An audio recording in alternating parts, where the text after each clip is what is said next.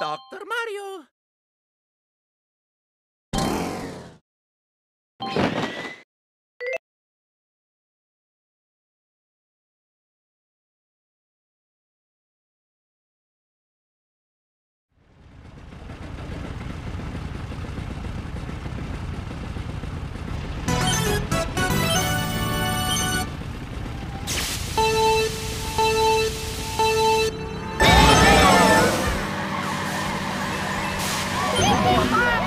Woo!